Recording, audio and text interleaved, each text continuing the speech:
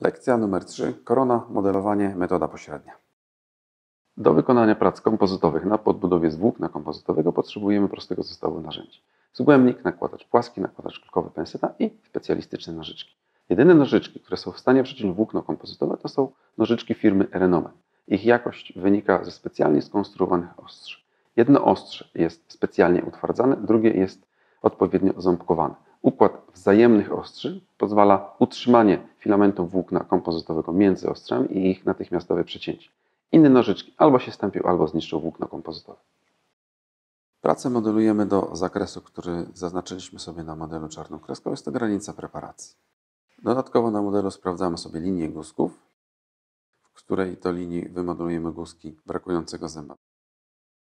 Sprawdzamy także linię szyjek zębów, przykładając sobie narzędzie tak, żeby zobaczyć zakres pracy i także od strony policzkowej i od strony językowej. Koronę modelujemy z włókna kompozytowego i kompozytu Next.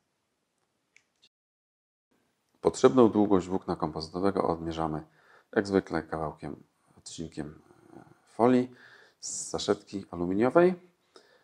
Mamy dwie metody postępowania. Albo odmierzamy odległość tak, by odcinek folii stykał się z zębami sąsiednimi, tak by długość odbudowywała punkty styczne. Jest to metoda, którą e, generalnie polecam. Ona jest może trudniejsza na początkowym etapie modelowania, ale w dalszej kolejności zdecydowanie skraca czas niezbędny do wymodelowania pracy. Alternatywną możliwością jest odmierzenie odcinka i w konsekwencji modelowanie tak, żeby włókno leżało ściśle na filarze zęba.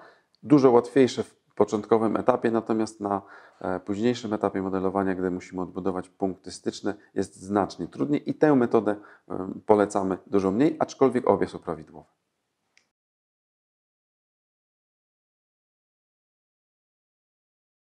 Uwalniamy włókno z osłonki, wyjmujemy włókno i odmierzony odcinek przykładamy i odcinamy.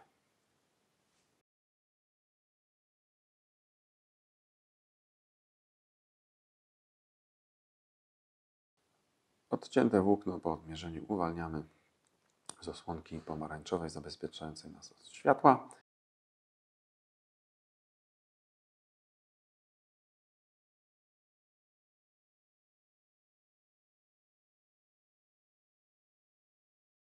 Modelujemy w najniższej części, tak jak pokazała granica preparacji, czyli czarna kreska namalowana ołówkiem.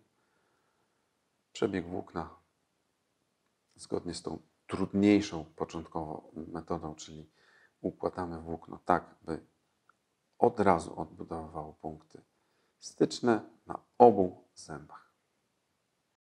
Modelujemy włókno tak, żeby od początkowego miejsca umocowania włókna sięgnąć do jednego punktu stycznego, w dalszej kolejności również po granicy preparacji sięgnąć do drugiego punktu stycznego i przymocować włókno do początkowego odcinka tak, żeby stworzyć jedno zamknięte koło.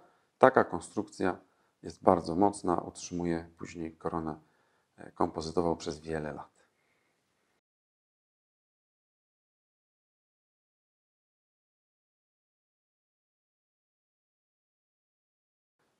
Oprócz modelowania punktów stycznych przy e, modelowaniu przebiegu włókna pamiętamy też o rozmiarze anatomicznym, wielkości anatomicznej zęba.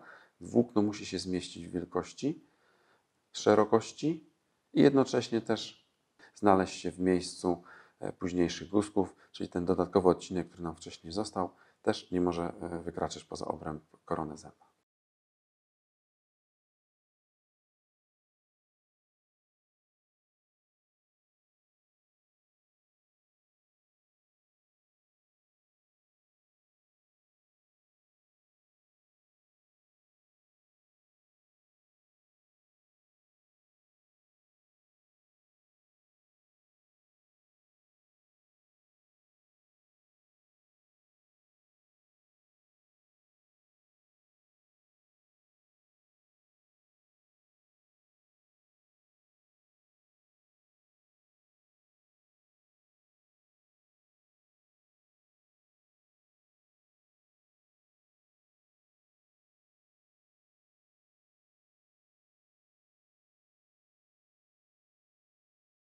Główna konstrukcja z włókna kompozytowego podbudowująca koronę jest gotowa i naświetlamy ją.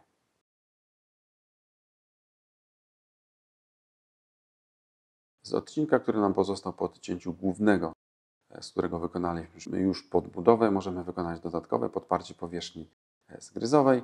Wybieramy guzki te, co do których e, jest największa obawa, że będzie na nie działała największa siła rzucia i je podbudowujemy. Najczęściej są to guzki leżące po przekątnej zęba. Mocujemy początek włókna do podbudowy, która została już wykonana. I pod włókno podkładamy trochę kompozytu, tak by uniknąć zamknięcia pęcherza powietrza, a jednocześnie też ta część kompozytu umożliwia nam ładne wymodelowanie guzka, którego podbudowę właśnie wykonujemy. Gdy wykonaliśmy podbudowę pod jeden guzek, według tej samej metody podkładamy kompozyt pod włókno i wolny koniec niewymodelowanego włókna nakładamy na kompozyt i podbudowujemy drugi guzek po przeciwnej, przekątnej stronie zęba. Jeśli nadal mamy luźny e, odcinek włókna, w ogóle się tym nie martwimy, dlatego że możemy go wykorzystać do odbudowy dalszej części zęba, tak jak w tym przypadku fragment powierzchni językowej odbudowaliśmy właśnie e, tym drobnym odcinkiem włókna, e, ponieważ włókno jest kompozytowe, stąd jego struktura w większości złożona z kompozytu odbuduje nam brakującą część ścianki, w tym przypadku językowej.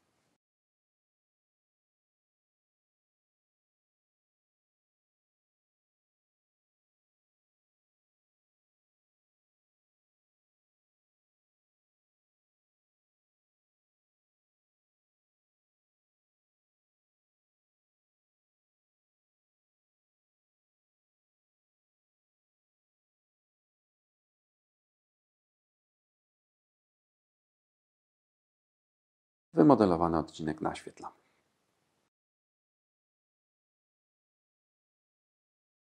W ten sposób mamy wykonaną główną podbudowę korony.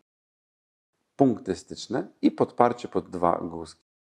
Policzkowy dalszy i językowy bliższy.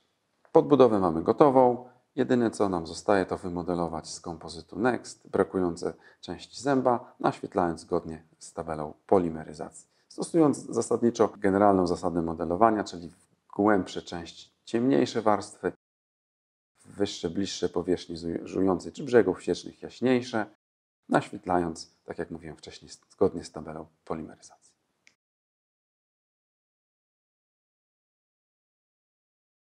Modelujemy zgodnie z wytyczonymi wcześniej liniami guzków, liniami brust i szerokością anatomiczną zęba i wielkością sąsiednich zębów. Ponieważ punkty styczne mamy już odbudowane, modelowanie jest bardzo prostym procesem.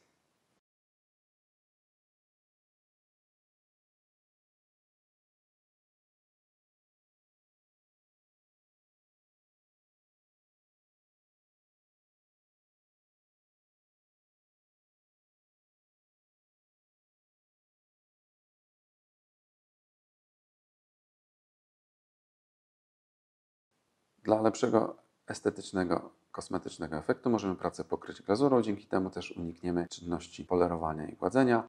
Glazura zapłynie we wszystkie drobne szczeliny i nierówności powierzchni, dzięki czemu praca będzie gładka, błyszcząca i e, nie będzie wymagała polerowania. Świetlamy zgodnie z tabelą polimeryzacji i koronę mamy zasadniczo gotową. Postępowanie na modelu jest bardzo podobne do postępowania w ustach. Jedyna różnica polega na sposobie izolacji. Model gipsowy izolujemy izolatorem do gipsu. W ustach filar zęba izolujemy z silikonem lub wazeliną i cementujemy tak samo w obu przypadkach.